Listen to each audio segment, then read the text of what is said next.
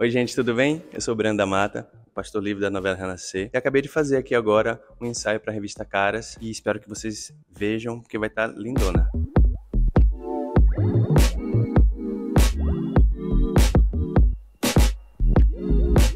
Tem sido maravilhoso fazer essa novela, porque é a minha primeira novela e é um texto lindo, um personagem maravilhoso, com colegas de cena maravilhosos também. Tô aprendendo muito, eu tô muito feliz com isso.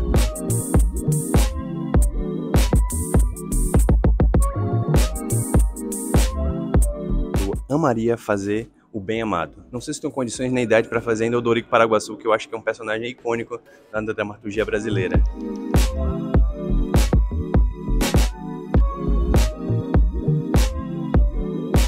Eu também estou em Justiça fazendo o personagem Túlio na história 1 do Juan Paiva. Foi minha primeira experiência, um trabalho grande dentro da TV Globo e eu também estou muito feliz e são personagens muito diferentes do Pastor Lívio e o Túlio de Justiça. Então assistam que vocês vão gostar.